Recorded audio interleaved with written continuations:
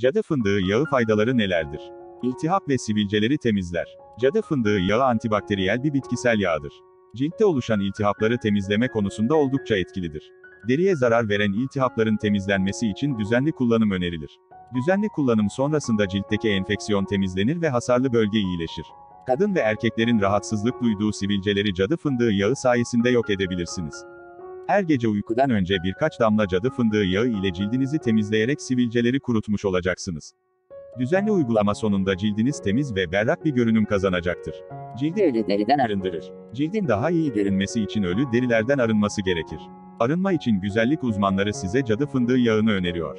Cadı fındığı yağını cilt maskesine ekleyerek yüzünüzdeki ölü derinin atılmasını kolaylaştırabilirsiniz. Hücreleri onarır ve cildi canlandırır. Kozmetik alanda sık sık adı geçen cadı fındığı yağı gençlik iksiri olarak tanınmaktadır. Yaşlılık izlerini yok eden, cildin daha canlı ve bebeksi görünmesine yardım eden cadı fındığı yağı cilt maskesine eklenmelidir. Cadı fındığı yağında antioksidan maddeler bulunur. Vücutta kolajen üretimini sağlayarak hücre hasarını onarmaktadır. Ciltte, deri altında ve saçlarda meydana gelen hücre hasarlarını cadı fındığı yağını kullanarak önleyebilirsiniz.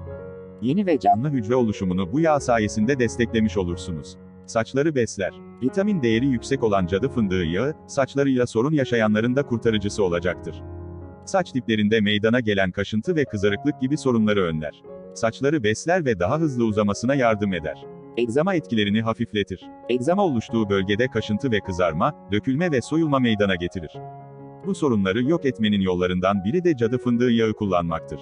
Cildinize masaj yaparak uyguladığınızda egzamanın yan etkilerini hafifleterek kendinizi daha iyi hissetmenize yardım edecektir.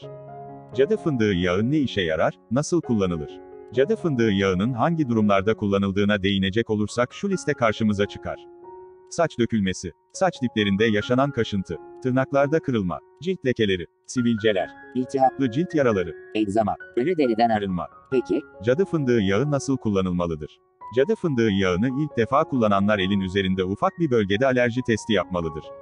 eğer 10 10 dakika içinde herhangi bir renk değişimi yoksa kullanmaya başlayabilir.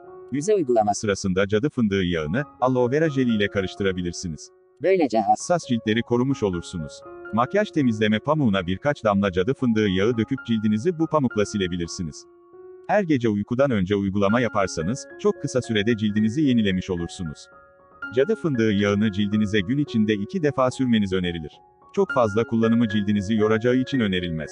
Uygun görülen kullanım sabah ve gece olmaktadır.